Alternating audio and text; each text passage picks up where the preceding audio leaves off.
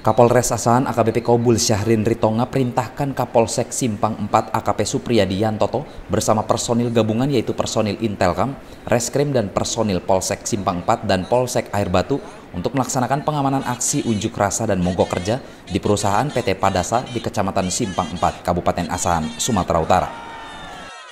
Para pengunjuk rasa tersebut berasal dari Afdeling 1 sampai Afdeling 5 yang ada di perkebunan PT Padasa dengan jumlah 500 orang. Adapun tuntutan mereka adalah menuntut perusahaan PT Padasa agar para karyawan yang berumur 50 tahun ke atas tidak dimutasikan ke daerah yang lain.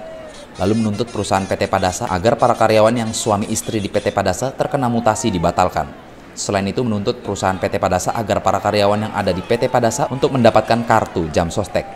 Pada saat orasi, Kapolsek Simpang 4 AKP Supriyadi Yantoto mendatangi para pengunjuk rasa dan mendengarkan keluhan para pengunjuk rasa serta memediasikan para pengunjuk rasa ke bagian administrasi perusahaan PT Padasa. Debat yang cukup alot pun terjadi hingga 4 jam yang menghasilkan suatu perjanjian atau kesepakatan sementara yaitu mutasi tetap dilaksanakan bagi yang umurnya 50 tahun ke atas, lalu bagi karyawan yang suami dan istri terkena mutasi segera dibatalkan, tidak ada pemotongan gaji dan pengabsenan yang terkena mutasi di tempat yang baru mulai tanggal 9 Januari 2018 sampai tanggal 19 Januari 2018 Perjanjian atau kesepakatan sementara ini dilaksanakan dan menunggu hasil keputusan direksi PT Padasa yang ada di Jakarta.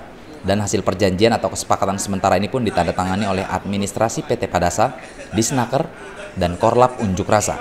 Para pengunjuk rasa merasa senang atas keputusan tersebut dan kemudian membubarkan diri.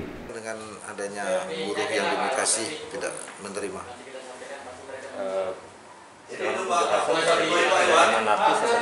Untuk sementara dengan pengamanan sangat efektif, ya persuasif, dapat pendekatan terhadap rasa, berjalan dengan lancar.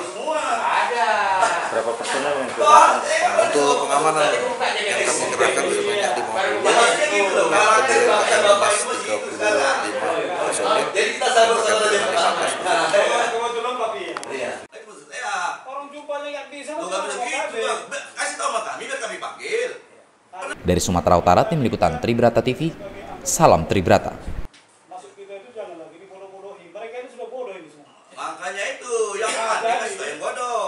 Jadi kami Pak. berharap dengan kehadiran orang bapak di sini.